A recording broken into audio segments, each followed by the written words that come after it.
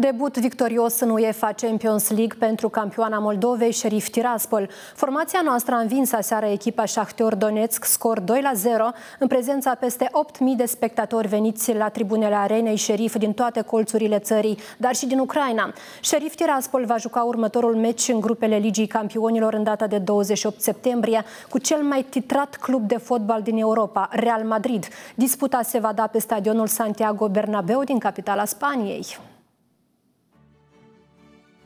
Sărbătoare mare la Tiraspol după ce campioana Moldovei, Sheriff Tiraspol, a înregistrat un succes istoric în primul său meci din cadrul UEFA Champions League. Galbeni negri s-au impus pe teren propriu cu scorul de 2 la 0. Sheriff a înscris câte un gol în fiecare repriză. Atacantul Adama Traore a deschis scorul în minutul 15. Al doilea gol al grupării tiraspolene a fost marcat de Momo Ansane în minutul 62 din a doua repriză. Deși minerii din Donetsk au dominat meciul, totuși scorul a rămas neschimbat până la ultimul fluier al arbitrului german. În celălalt meci al grupei D, Real Madrid a smuls victoria pe terenul lui Internațional Milano, scor 1-0.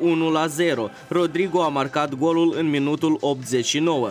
După acest meci, mai mulți internauți moldoveni au postat pe rețelele de socializare clasamentul grupei D, în care Sheriff Tiraspol este în frunte, iar mai jos l-au poziționat pe Real Madrid, care la fel a obținut 3 puncte, însă a marcat cu un gol mai puțin decât Viespile. Clubul de fotbal Sheriff va juca următorul meci în grupele Ligii Campionilor pe 28 septembrie pe stadionul Santiago Bernabeu contra galacticilor de la Real Madrid. În divizia națională, echipa antrenată de ucraineanul Yuri Vernedub ocupă locul 4 cu 12 puncte după 5 meciuri jucate, liderul clasamentului fiind echipa Milsami Orhei cu 20 de puncte în palmares.